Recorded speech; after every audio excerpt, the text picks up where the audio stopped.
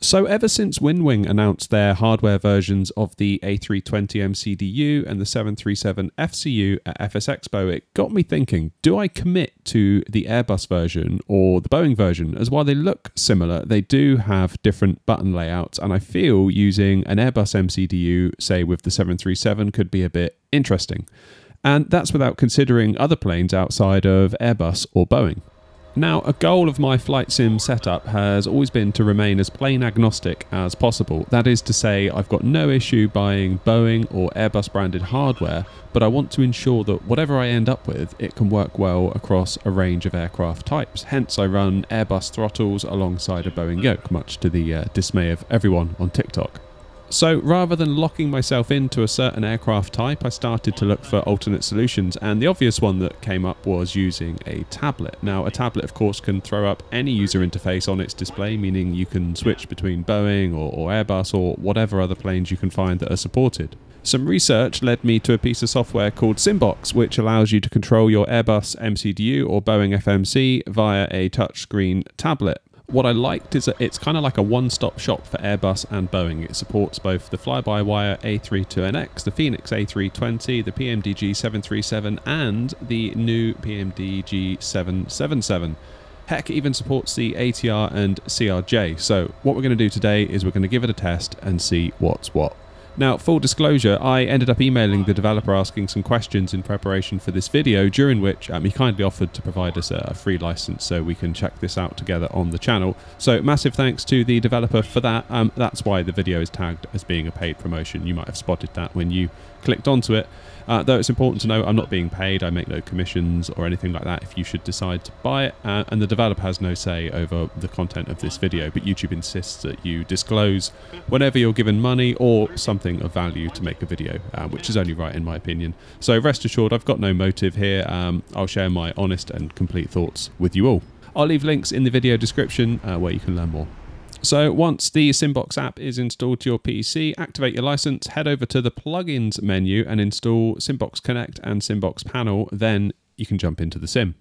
So we're going to start things off with the PMDG 737. Now, while Simbox supports the PMDG, Fenix and the fly-by-wire, in the case of the Fenix and the fly-by-wire, you could manage without Simbox as you can access the MCDU via a web browser.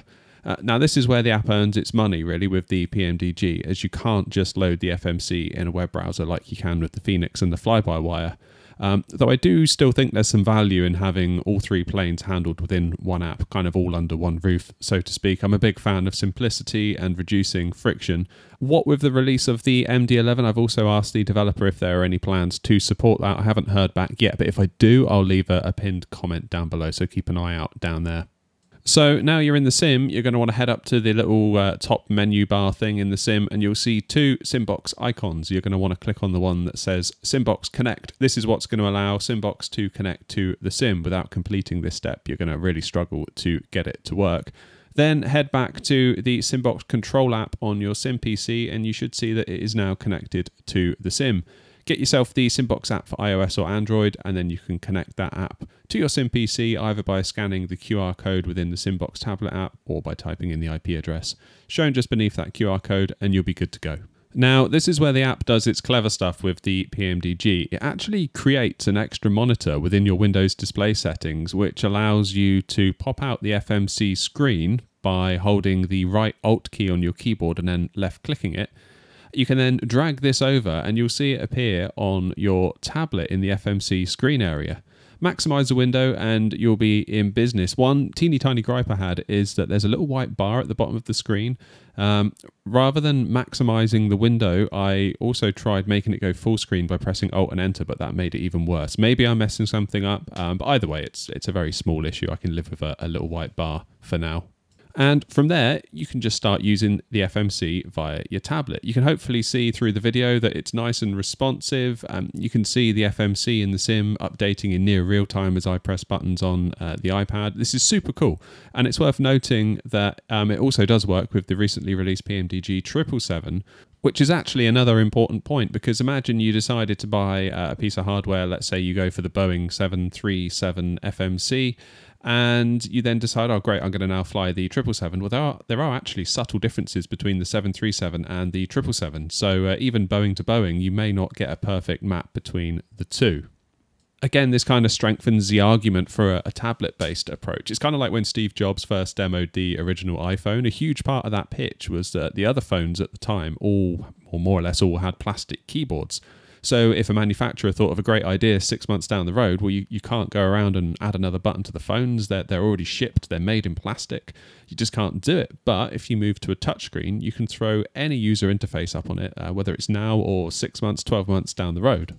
And for those wondering, the setup for the 777 is exactly the same as the 737. So just follow the steps uh, that I've shown here for the 737, um, and you'll be in business on the 777 as well. Let's switch over to the Fenix Airbus A320, and again, make sure the Simbox Connect button in the top menu uh, there at the top of the sim is toggled to the on position.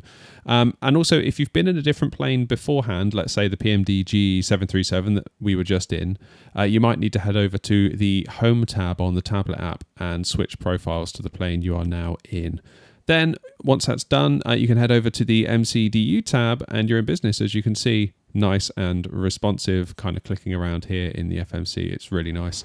Same story with the fly-by-wire, though you'll need to be on the development branch, I believe, and also have SimBridge installed, which can be done via the fly-by-wire installer. Now, to reiterate, I am well aware that you do not need to spend money on this app if all you're interested in is the Fenix A320 or the fly-by-wire A32NX. However, if, like me, you're interested in other aircraft, in my case that's the PMDG 737 and 777, it's a really nice feature to have the Airbus planes taken care of by this app as well. Um, there's a grid view on the developer's website where they break down which planes are supported by the app and again which features are supported on a, on a plane by plane basis. This app can do a bunch of other stuff, um, including but not limited to kind of turning the lights on and off on the aircraft. Um, but I think for me, I can't see myself using much of that other stuff.